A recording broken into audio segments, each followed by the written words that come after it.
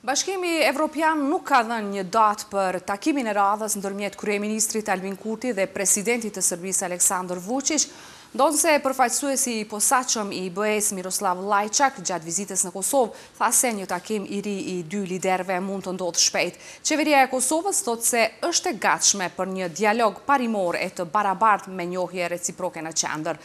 LDK-ja ndërkaq kërkon që Qeveria të mos rrëshqasë në dialog teknik.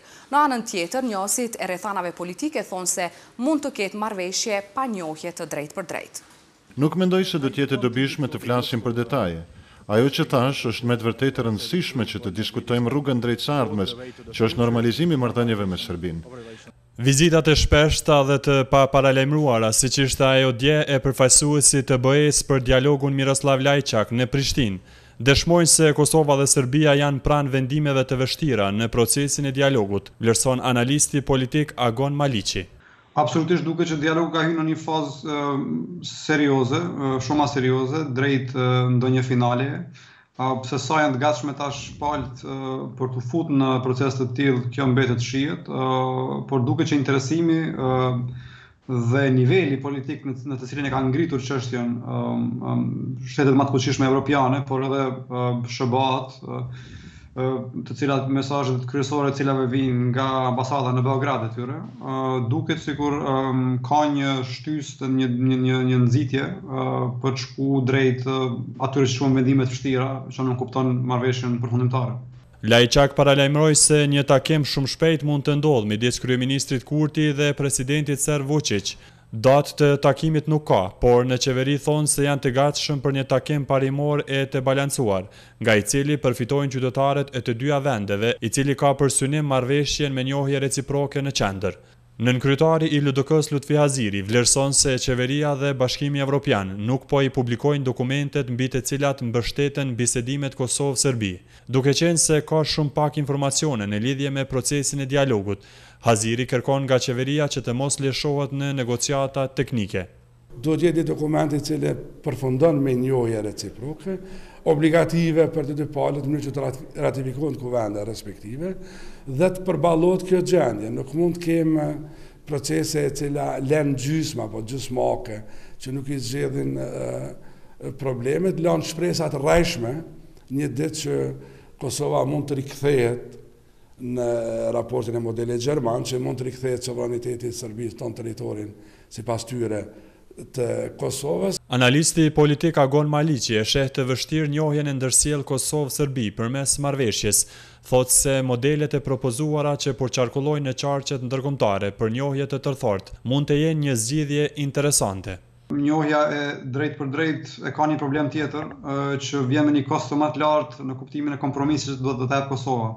Ndërkohë që kjo që po quhet si njohje tërthart e ul çfarëdo lloj peshën e çfarëdo lloj kërkese që mund të vijë prej Serbisë. Partitë opozitare kritikojnë qeverinë se nuk është transparente në procesin e dialogut, Paralajmërojnë se do ta thërrasin në interpelancë kryeministrin Kurti për të raportuar për takimet që ka zhvilluar në Bruksel me presidentin e Serbisë, por edhe për takimet e fundit me përfaqësuesit e BE-së. Gjermania, Franca dhe Polonia përmes një deklarate të përbashkët kanë bërë thirrje për përparim në procesin e dialogut ndërmjet Kosovës dhe Serbisë, ku nënvizohet nevoja për një marrëveshje gjithëpërfshirëse që i mundëson të dyja vendeve të avancojnë në rrugëtimin evropian. Trekëndshi i Weimarit njëkohësisht ka theksuar fuqizimin e përkushtimit të Ballkanit Perëndimor ndaj Procesit të Berlinit. Tri vendet anëtare të Trekëndshit të Weimarit në deklaratën e tyre kanë bërë thirrje edhe për përparim në lidhje me liberalizimin e vizave për Kosovën. Presidentja Vjosa Osmani ka thënë se Serbia po i shtyn përpara synimet ruse në Ballkan dhe e ka cilësuar atë si një zgjatje të Rusisë në rajon. Ajo tha se Bashkimi Evropian duhet të jetë unik kur kërkon rreshtimin e Serbisë me politikën e jashtme dhe të sigurisë së vetë Unionit. Duke folur në një konferencë në Potsdam të Gjermanisë, Presidentja Osmani tha se I takon vendeve individuale të BE-së që të ndërmarrin hapat për liberalizimin e vizave për Kosovën. Presidentja Osmani e ka cilësuar anëtarësimin e Ballkanit Perëndimor në Bashkim Evropian si një vendim të rëndësishëm gjeostrategjik të vetë Bashkimit Evropian, duke theksuar se pa paqen dhe stabilitetin në rajonin e Ballkanit, nuk do të ketë as paqe dhe as stabilitet në gjithë kontinentin e Evropës. Presidentja Osmani iu drejtua një audience në Konferencën M njëqind në Potsdam të Gjermanisë, duke e cilësuar Serbinë si një vend që më shumë i është afruar Rusisë sesa vetë BE-së dhe i bëri thirrje bashkësisë ndërkombëtare që të mbrojë gjithë atë që është ndërtuar në Kosovë prej shumë vitesh. What happens in North Kosovo is not just some quarrel. Ajo që ndodh në veriun e Kosovës nuk është vetëm një fjalosje ndërmjet dy vendeve, ngjarjet në veri të Kosovës duhet parë në një kontekst gjeopolitik. Rusia ka një ndikim absolut mbi Serbinë dhe kjo është një fatkeqësi për të gjithë ne në rajon. Fqinji ynë është shndërruar në përfaqësuesen e Rusisë dhe po i shtyn përpara qëllimet ruse për destabilizim të Ballkanit Perëndimor. Presidentja Osmani tha se Bashkimi Evropian duhet të jetë i bashkuar kur të kërkojë nga Serbia që të rreshtohet me politikën e jashtme dhe sigurinë evropiane, sepse shteti serb, tha Osmani, ka edhe një obligim ligjor që ta bëjë këtë si një vend që ka hapur kapitujt me BE-në. Osmani tha se Kosova do që të bëhet vend anëtar i NATO-s, sepse me këtë garantohet siguria dhe nënvizoi se Kosova ka kontribuar në paqen dhe stabilitetin në rajon. Duke folur për çështjen e liberalizimit të vizave, presidentja Osmani tha se ky proces përputhet me rrugën e integrimeve evropiane të vendit, meqë Kosova deri në fund të vitit, tha ajo, do të aplikojë për statusin e vendit kandidat për anëtarësim në BE. Being direct, I have to say, the EU credibility is at stake.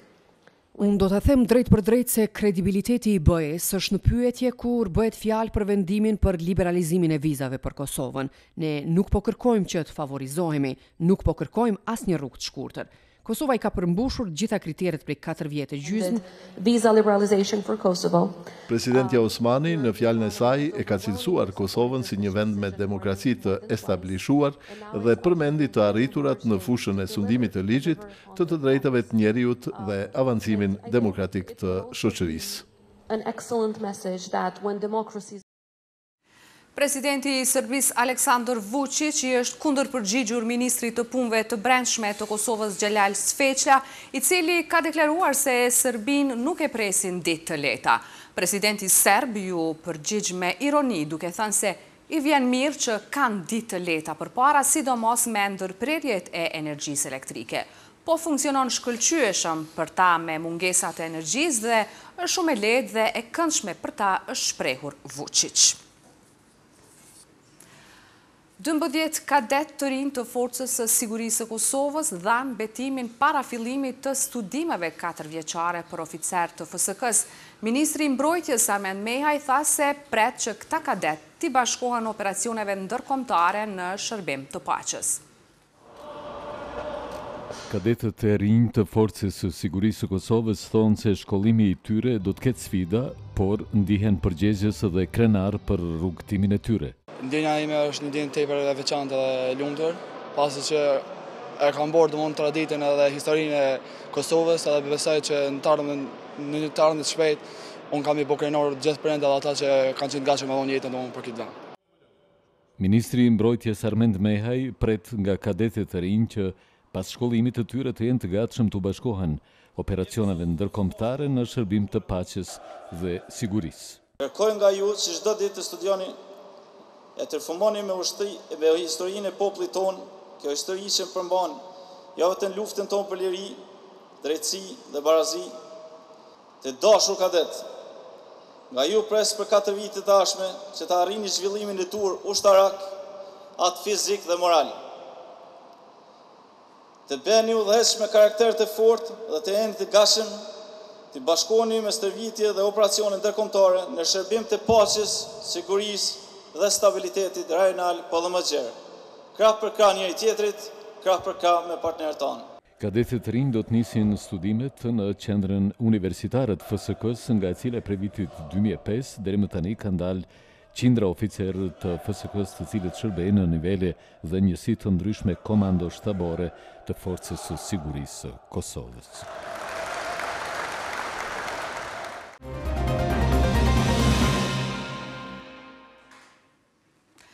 Shoqata Sindikale e QKUK-së ka paralajmëruar protestë më njëzet e një shtator me kërkesën për rritjen e pagave prej pesëdhjetë për qind për punëtorët e këtij institucioni deri në zbatimin e ligjit të pagave.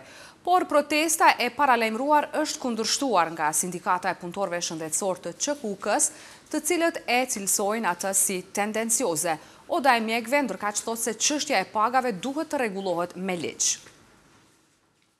Të mërkurën e javës së ardhshme para Qendrës Emergjente në Prishtinë do të ketë protestë. Këtë protestë e paralajmëroi Shoqata Sindikale e QKUK-së, e cila ndër të tjera po kërkon rritjen e pagave për punëtorët e QKUK-së për pesëdhjetë për qind me arsyetimin se inflacioni ka pamundësuar mbulimin e shpenzimeve bazike jetësore. Para Qendrës Emergjente do të mbajmë protestë simbolike me kërkesat rritje pagash për pesëdhjetë për qind deri në implementimin e Ligjit të Pagave, rritje e investimeve në shëndetësi për përmirësimin e kushteve të punës dhe ngritjen e cilësisë së shërbimit, miratimin e Ligjit të Pagave dhe implementimin e tij nga janari dy mijë e njëzet e tre. Pak kohë nga ky paralajmërim për protestë reagoi Sindikata e Punëtorëve Shëndetësorë të QKUK-së. Tha se nuk qëndron prapa organizimit të kësaj proteste duke e cilësuar tendencioze. Një shoqatë sindikale nuk e ka kapacitetin juridik që t'i parashtrojë kërkesa një qeverie, cilësdo qeveri, pasi që partner social e ka punëdhënësin me këtë rast që ku u kon. Rritja që profesionistët shëndetësorë do të përfitojnë potencialisht nga ky ligj i pagave e tejkalon kërkesën e kësaj shoqate, andaj është e pakuptim, është veprim i pamatur, tendencioz, është veprim i cili ka prapavijë të hakmarrjes. Për Odën e Mjekëve të Kosovës, kërkesat e Shoqatës Sindikale të QKUK-së për rritje pagash janë legjitime, por siç thonë, çështja e pagave duhet të zgjidhet përfundimisht me Ligjin e Pagave. Nuk komentuan kundërshtimet mes shoqatës dhe sindikatës. Ne nuk mund të hyjmë në problemet që kanë shoqatët e ndryshme sindikale dhe në të cilat ato duhet t'i rregullojnë mes veti. Prandaj nuk dua të komentoj në këtë drejtim, por definitivisht do të thotë ligji i pagave duhet të ecë që të rregullohet gjendja në shëndetësi, por njëkohësisht do të thotë edhe investime serioze që duhet bëhen. Në Qendrën Klinike Universitare të Kosovës veprojnë pesë shoqata sindikale, të cilat janë pjesë e Federatës së Sindikatave të Shëndetësisë. Në vazhdim një përmbledhje informacionesh shkurt për zhvillimet rreth grevës në arsim. Prindërit e nxënësve të shkollës fillore Pavarësia në Prishtinë njoftuan se nga e hëna do të dërgojnë fëmijët e tyre në shkollë. Në njoftimin e prindërve thuhet se askush nuk mund t'i mohojë fëmijëve qëndrimin në banka shkollore, duke theksuar se prindërit paguajnë taksa në vazhdimësi. Më tej thuhet se nëse mësuesja mungon, atëherë prindërit të zhvillojnë orët me libra. Në rast se drejtuesit e shkollës pengojnë nxënësit dhe prindërit, do të organizohet protestë dhe do të kërkohet intervenimi i organeve shtetërore, thuhet në njoftim.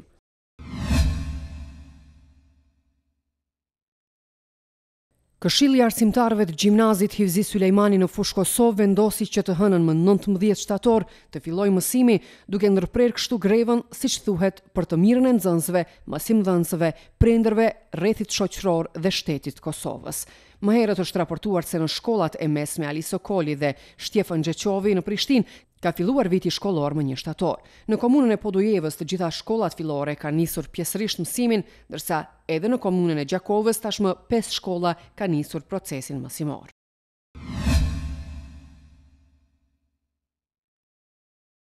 Ministrja e Arsimit Arbërie Nagavci përgëzoi shkollat që e kanë nisur mësimin. Ajo me këtë rast tha se në projektligjin për paga janë marrë për bazë të gjitha kërkesat, duke u trajtuar me kujdes të veçantë të gjitha kategoritë e punëtorëve të arsimit. Ministrja Nagavci tha se do të adresohet vazhdueshëm çdo shqetësim i mësimdhënësve që të kemi mirëqenie të tyre dhe ngritje të cilësisë në arsim.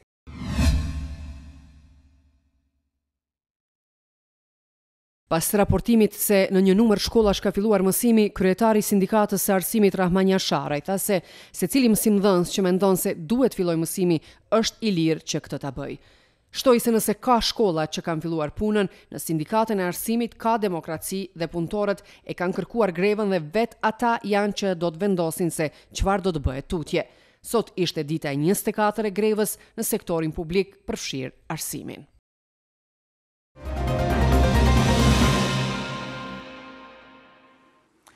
Enti i statistikave të Kosovës ka bërë të ditur se çmimet e produkteve të konsumit të përgjithshëm janë rritur mbi 13% në krahasim me vitin e kaluar, ndërsa sipas Bankës Botërore, inflacioni ka arritur në 19.2%. Njohësit e ekonomisë konsiderojnë se inflacioni, ngritja e vazhdueshme e çmimeve dhe pagat e ulta do të rrezikojnë migrimin e mëtejmë të popullatës. Prej muajsh qytetarët e Kosovës po përballen me rritje çmimesh në pothuaj të gjithë artikujt ushqimorë dhe me nivelin e njëjtë të pagave që prej disa vjetësh. Ata thonë se jeta po u vështirësohet. Nuk është domethënë mirë që po ngriten çmimet, ndërsa kndej standardi i qytetarëve ka ra dukshëm. Duhet me intervenu, pagat duhet të rriten normal në proporcion qysh shkon inflacioni gjithashtu edhe pagat në gjitha. sektorët, gjitha nivel. Agjencia e Statistikave të Kosovës ka bërë të ditur se çmimet e konsumit në muajin gusht janë ngritur për trembëdhjetë për qind në krahasim me periudhën e njëjtë të vitit të kaluar. Ngritja më e madhe vazhdon të jetë tek artikujt themelorë, që e bën të shtrenjtë shportën e konsumatorit. Në muajin gusht ngritjet më të larta kanë qenë vajrat dhe yndyrat ushqimore me pesëdhjetë e dy pikë një për qind, lëndë djegëse të ngurta me dyzet e tetë pikë gjashtë për qind, buka dhe drithërat tridhjetë e dy pikë katër për qind, karburantët dhe lubrifikantët për pajisjet e transportit me tridhjetë e dy për qind, qumështi, djathi dhe vezët me njëzet e gjashtë pikë dy për qind. gazi me njëzet e gjashtë për qind, mishi me njëzet e dy pikë pesë për qind, sheqerat, reçeli, mjalta me nëntëmbëdhjetë pikë shtatë për qind. Banka Botërore ka dhënë shënimet mbi inflacionin në Kosovë, duke e radhitur në mesin e vendeve me shkallën më të lartë. Sipas bankës, Kosova ka një inflacion prej nëntëmbëdhjetë pikë dy për qind, që krahasuar me vendet e tjera të rajonit të Ballkanit Perëndimor, e vendos në një shkallë me vendet e Baltikut. Njohësi i ekonomisë, Safet Gërxhaliu, thotë se në rast të vazhdimit të rritjes së vazhdueshme të çmimeve, rrezikohet edhe migrimi i qytetarëve. Në qoftë se vazhdohet me këtë trend të rritjes së çmimeve, vërtet qytetarët do të jenë të goditur, por do të jetë e goditur edhe ekonomia, do të humbet shpresa për të jetuar në Kosovë dhe nuk duhet na habitur fakti që çdo i ri tenton të dalë nga jashtë Kosovës dhe lind pyetja kujt i duhet Kosova në qoftë se ajo do të kaplohet falë krizës ekonomike dhe sociale, do të kaplohet edhe me një katastrofë demografike. Aktualisht paga minimale në Kosovë është njëqind e tridhjetë euro për të punësuarit e moshës nën tridhjetë e pesë vjeç dhe njëqind e shtatëdhjetë euro për të punësuarit e moshës mbi tridhjetë e pesë vjeç. Pagë kjo e cila nuk ka pasur ndryshime që nga viti dy mijë e njëmbëdhjetë. Qeveria e Kosovës tha se ka nisur konsultat publike për një ligj të pagave, miratimi i të cilit është një prej kushteve edhe të sindikatave që kanë hyrë në grevë. Rritja e çmimeve në lëndën e parë dhe në transportin e mallrave kanë vënë në vështirësi bizneset. Pronarët ankohen se u goditën rëndë dhe kërkojnë subvencionim nga Qeveria e Kosovës për ta përballuar krizën. Shtrenjtimet e vazhdueshme kanë goditur edhe bizneset vendase. Eksportuesi Ramiz Gashi ankohet për dyfishim të kostos së shërbimeve të transportit muajve të fundit. Që jo vetëm tek biznesi jonë, po te të gjitha bizneset në gjithë Kosovën ka ndikuar shumë ngritja e çmimeve. Dihet që ne kemi ngritje të çmimeve në disa raste deri në dyqind për qind, ndërsa ne nuk kemi nuk kemi pasun mundësi edhe t'i ngrijmë çmimet ndoshta me pesë apo apo dhjetë për qind që edhe kjo është një ngritje shumë e madhe që ka ndikuar në produktet finale. Megjithëkëtë, biznesmeni Ramiz Gashi është kujdesur që punëtorët e tij t'i përballojnë sa më lehtë shtrenjtimet, duke ua rritur pagën minimale në katërqind e tetëdhjetë euro. Pagat i kemi rritur në bazë të ngritjes së çmimeve në përgjithësi në Kosovë. Paga minimale neto, këtu flas neto, tek ne në Kosovë është katërqind e tetëdhjetë euro. Këtu përfshihen domethënë që janë Ushqimi, transporti, veshmbathja, tatimet apo kontributet, sigurimet, gjitha ato janë të paguara apo të kryer prej firmës. Profesori i ekonomisë Safet Gërxhaliu thotë se bizneset pësuan më së shumti gjatë kësaj periudhe. Mirëpo brenga më e madhe është edhe qasja tjetër që si është situata e sektorit prodhues dhe zhvillimit ekonomik në Kosovë. Sot kompanitë vendore falë ngritjes së çmimit të lëndës së parë janë në pozitë shumë vështirë dhe nuk mund të jenë konkurruese. Në rend të dytë, në qoftë se do të kemi do thotë tkurrje të prodhimit, do të kemi do thotë tkurrje të vendeve të reja të punës, prandaj besoj që një pako për mbështetje të qytetarëve dhe bizneseve çfarë është miratu nga qeveria e Kosovës, duhet të ketë dimensionin e mbrojtjes Pronarët e bizneseve shpresojnë se Qeveria e Kosovës t'i subvencionojë për të përballuar sa më lehtë këtë krizë.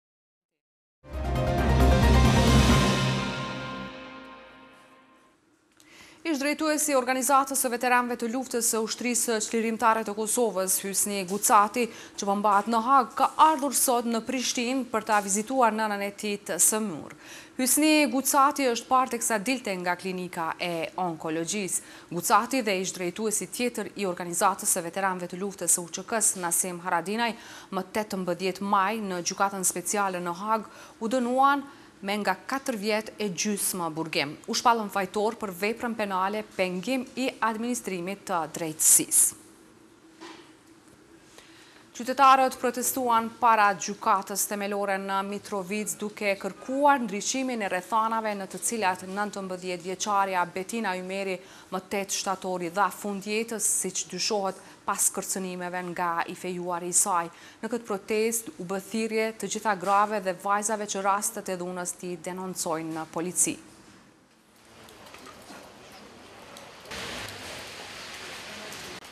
Ne jemi mbledhë këtu për të thënë përfundimisht asnjë ma, asnjë vajzë, grua të jetojë me tmerrin e frikën e dhunës, asnjë vajzë e grua të mos vritet nga një burrë, asnjë vajzë e grua të mos lihet vetëm, e vetme dhe e pashpresë. Sot, më shumë se kurrë, është e domosdoshme të thërrasim për solidaritet dhe mbështetje të vajzave dhe grave. T'ju besohet vajzave dhe grave, t'ju dilet në ndihmë atyre. Andaj e theksojmë, për familjarë, kojshi, e kalimtarë, kudo që e shihni dhunën raportojeni. Bëhuni në anën e viktimës e jo të dhunuesit. Dhuna ndaj vajzave dhe grave është krim, trajtojeni si të tillë. Pra sot po kërkojmë këtu nga kjo gjykatë, që ta trajtojë rastin e Betinës me prioritet dhe t'i japë dënim meritor fajtorit. Kjo çdo nënë, çdo femër, që ka dhunë apo heton sado pak të lajmërojë rastin në polici dhe lus gjykatën që t'i shkon drejtësisë deri në fund, e jo të kërkojë rishpem.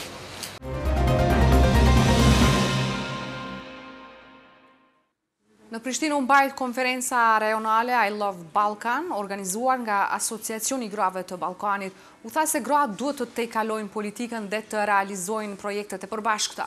Me këtë rast u promovua libri Woman Book, në të cilën prezantohen gjashtëdhjetë rrëfime suksesi të grave ndërmarrëse nga gjashtë vende të Ballkanit.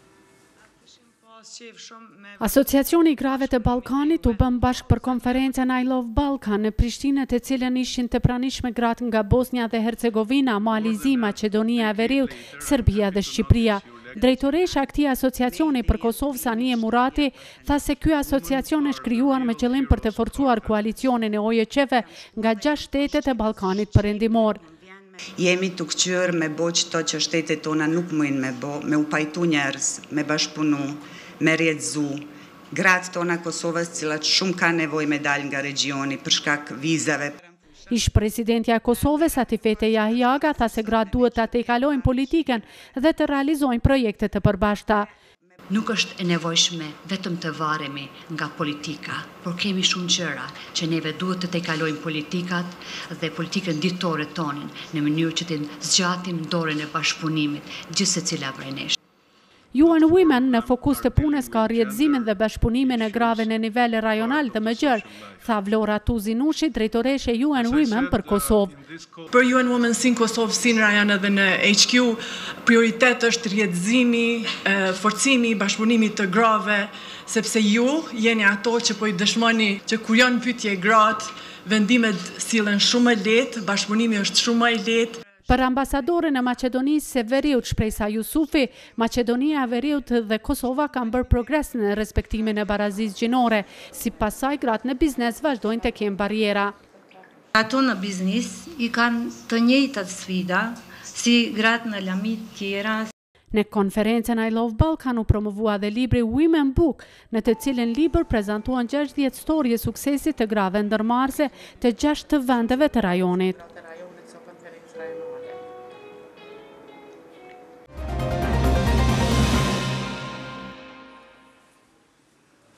Ngrohja qendrore nga Termokosi në kryeqytet nis më pesëmbëdhjetë tetor. Kjo kompani është në pritje të vendimit të Zyrës së Rregullatorit të Energjisë për çmimin e ngrohjes. U bë e ditur se njëqind e dyzet e një objekte banesore do të përfshihen për herë të parë në rrjetin e ngrohjes së kryeqytetit. Kemi aplikuar në Zyrën e Rregullatorit për Energji për tarifat e reja. Është autoriteti i vetëm ZRRE-ja e cila përcakton tarifat e ngrohjes. Pra, shumë shpejt pritet të kemi raportin nga ZRRE për tarifat për sezonin e ri të ngrohjes, pra dy mijë e njëzet e dy, dy mijë e njëzet e tre. Sipas gjitha indikacioneve, nuk pritet se do të ketë shtrajtim të këtyre tarifave. Po besojmë se do të vazhdojmë furnizimin me ngrohje me tarifat që kanë qenë në fuqi deri më tani. Deri më tani është shtrirë rrjeti i ngrojes për lagjen Mati një, përkatësisht rrugën Muharrem Fejza dhe rrugicat përreth saj. Janë njëqind e dyzet e një objekte banesore, të reja janë këto objekte pra, të cilat do të kyçen për herë të parë në rrjetin e ngrojes.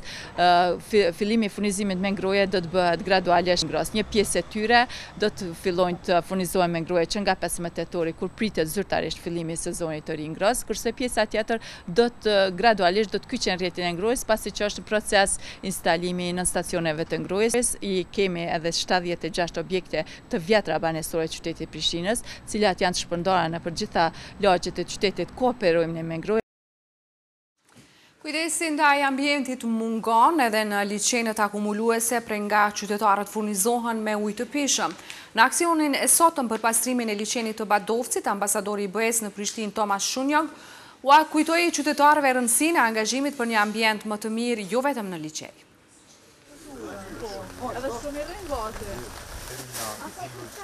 Nuk i pengoi as shiu për të dëshmuar në praktikë përkushtimin për ambientin duke mbledhë mbeturinat e hedhura nga qytetarë të pakujdesshëm përreth liqenit të Badovcit. Në krye të këtij aksioni simbolik u shfaq edhe ambasadori i Bashkimit Evropian Tomas Szunyog, i cili pati edhe një porosi. Mendoj se është me të vërtetë një lloj aktiviteti i rëndësishëm, dhe jo vetëm për komunitetin lokal dhe pastrimin e liqenit, por mendoj, gjithashtu, se qëllimi ynë është të rrisim ndërgjegjësimin dhe ndoshta të informojmë më mirë njerëzit se duhet të jenë vërtet të kujdesshëm kur ndalen pranë liqenit, ose kur ndalen në natyrë. Ata duhet t'i marrin mbeturinat me vete në shtëpitë e tyre dhe t'i hedhin ashtu siç duhet me kompanitë e pastrimit. Ambasadori Szunyog tha se Liqeni i Badovcit duhet mbajtur pastër edhe për tërheqje të më shumë turistëve. Mendoj se është shumë e rëndësishme për Kosovën, ka një natyrë të bukur dhe në fakt është një nga fshatrat më të bukura që kam parë në Evropë. por duhet pastruar dhe gjithashtu duhet mbajtur pastërt. Sepse, ju e dini, nëse doni të rrisni numrin e turistëve që vijnë dhe të rrisni llojin e biznesit turistik, duhet ta mbroni mirë. Drejtoresha Ekzekutive e Asociacionit për Mbrojtjen dhe Pastrimin e Mjedisit të Kosovës, PAMKOS, Merlina Beu Muçaj vuri në pah nevojën e rritjes së vetëdijësimit të qytetarëve për ruajtjen dhe kujdesin mjedisor në hapësirat e resurseve ujore, të cilat janë të nevojshme për qytetarët. Në kuadër të aktivitetit, i cili zhvillohet prej EU-s edhe edhe GIZ me partnerë të nivelit lokal, është duke u bërë ky aktivitet i ditës së sotme, në kuadër t'i pastrojmë liqejtë tona, i cili ka për qëllim të motivojë qytetarinë aktive, komunitetin e gjerë, të gjithë njerëzit të cilët e duan mjedisin, t'i motivojë të mirëmbajnë dhe të kujdesen për hapsirat e tyre, sidomos hapsirat pranë rezurseve ujore, të cilat janë të nevojshme për për mirëqenien e qytetarëve. Aktivistët vullnetarë mblodhën sot dhjetëra thasë mbeturina nga Liqeni i Badovcit.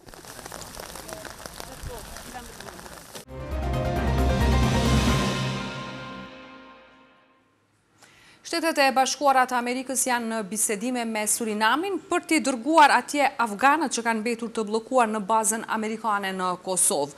Ambasadori surinamez në SHBA, Marten Schalwyk tha se në përgjithësi Surinami është një shtet ku njerëzit mund të adaptohen shpejt, ka shkruar Wall Street Journal.